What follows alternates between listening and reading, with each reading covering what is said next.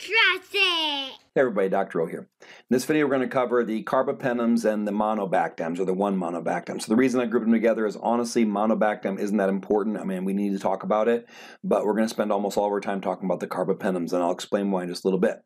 So you see why they're related. They're both beta-lactam antibiotics, just like the penicillins and the cephalosporins we've already covered, which means they have that beta-lactam ring, that same penicillin nucleus, basically. Then they have their different side groups and different structure, which makes them behave differently. So um, as far as the, the only important monobactam, really the only one that's used is Aztreonam, uh, which is called Azactam, I believe. Um, it is narrow spectrum, and I'd say the, the reason that this is still very important and worth noting here is that it's effective against Pseudomonas. So one thing, one you know, pseudom, we'll talk about the drug-resistant organisms in future series, but uh, Pseudomonas is one of the, the really most terrifying ones. When I think of like these nightmare bacteria, Pseudomonas comes to mind, like in the lab when we're testing the effectiveness of antibiotics, I always have the students tested against Pseudomonas because I want to see um, how it works, right?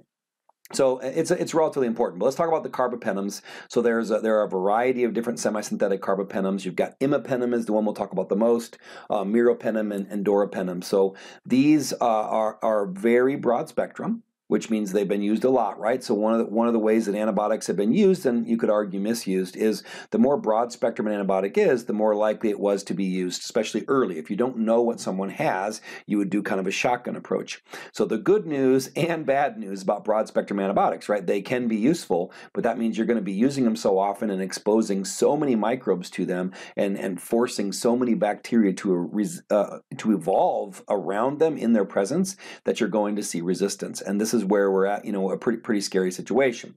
So the carbapenems that you know they're still they're still uh, primarily effective. Um, they do have the broadest spectrum of any of the beta lactam antibiotics we talked about. That's a key thing to remember. Uh, they can still kill some of your gram negatives, and they are also um, resistant to the beta lactamase enzymes that would that would that would destroy penicillin pretty easily.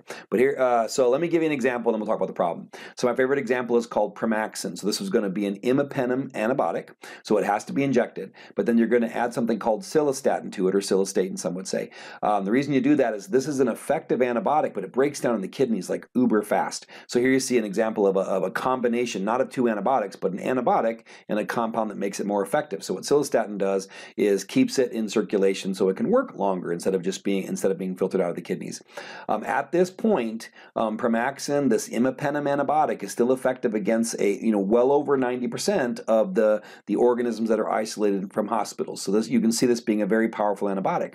But the, when I think of antibiotics, I think of basically uh, every antibiotic has a counter, and every time you use it, that number is is getting lower. And when it gets to zero, the, the drugs aren't going to be useful anymore, like what happened with methicillin. So it's still it's very effective if you're trying to save lives today. But the reality is, we will reach a point where this antibiotic is not near as effective. Like uh, three years ago, four years ago, I would have said this is effective against 98% of organisms in the hospital. I think that number is is slowly starting to drop. Uh, so why does this matter so much? well you maybe you maybe you've never heard of it but if you go to google or whatever if you type in nightmare bacteria or if you look at you know some of the biggest concerns that the cdc has when it comes to antibiotic resistance they are going to be the cre organisms carbapenem resistant enterobacteriaceae i'll spell i'll spell that on the screen has lots of vowels right? But these the these enterobacteriaceae this is a large family of, of, of, of organisms. So you're looking at shigella uh, Klebsiella, E. coli, uh, Pseudomonas, these kind of organisms, um, the, that group of organisms, when they become resistant to carbapenems, we're basically like out of antibiotic options or almost out of them. Because if you if you're carbapenem resistant, then you're then you're resistant to the other beta lactam antibiotics we've talked about. So these are all superbugs, which means they're resistant to more than one type of drug. Um, some of these CRE organisms are resistant to every antibiotic we have except for one called colistin, which I'll cover in a separate video. Here's the big concern. If the CRE organisms, which already exist, become colistin resistant, then we will not have an antibiotic to treat them unless something new comes along the line.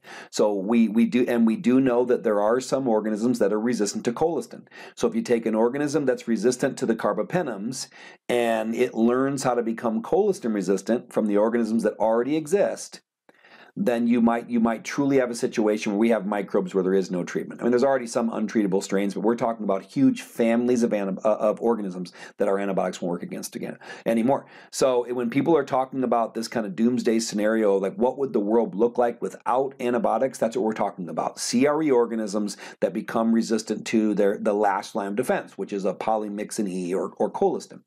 So this this is very terrifying. At this point, if someone gets a CRE infection like in their bloodstream, even with treatment, half of them are going to die. Like this, this is definitely a big, big concern. So I'd say the main reason to understand the carbapenems is their significance now, but as organisms start to resist them, we are we are really, really uh, in trouble unless we can come up with new antibiotics or antibiotic alternatives. And I, I'm I'm an optimist. We're we're going to stay ahead of the situation, but this is this is a big concern.